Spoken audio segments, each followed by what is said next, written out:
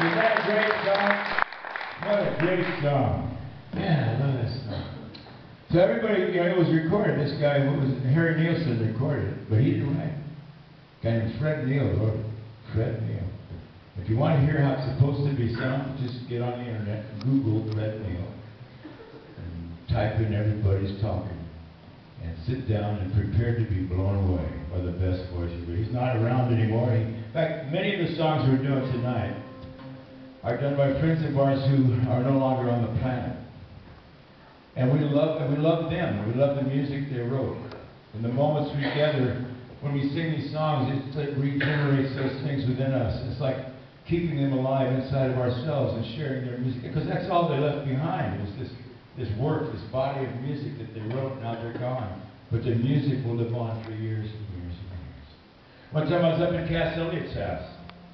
In fact, I was I used to park my little yellow Volkswagen van in her driveway because it was kind of way back in the bushes there, and she had this big house up on Mulholland Drive. And I was, I was every morning I'd wake up and I was at Cass's house. Oh, cool! I, you know, I, it's like my Volkswagen had early GPS or something because it it knew how to get to Cass's house. I don't know how I got there. It'd be three o'clock in the morning. I'd be in San Diego or Redondo Beach or someplace. They'd throw me out of a bar. Get out of here!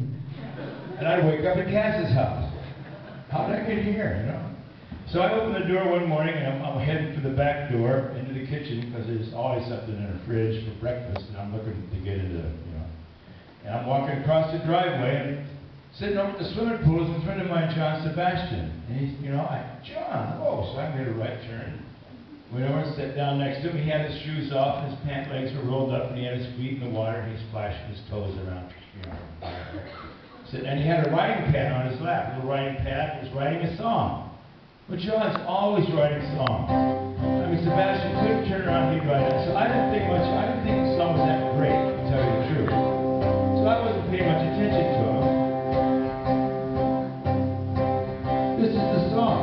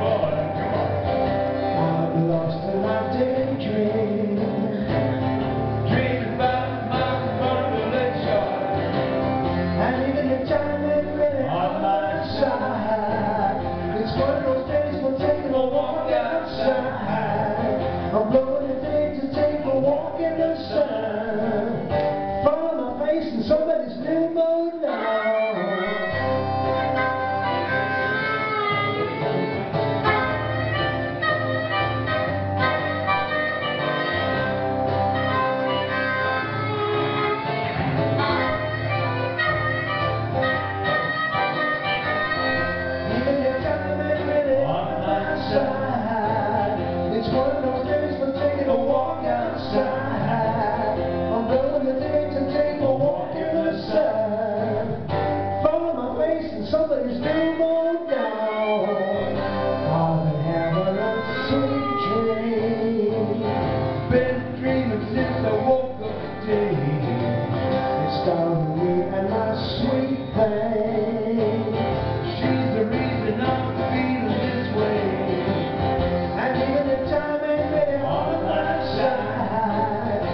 one of those days I'm take walk outside.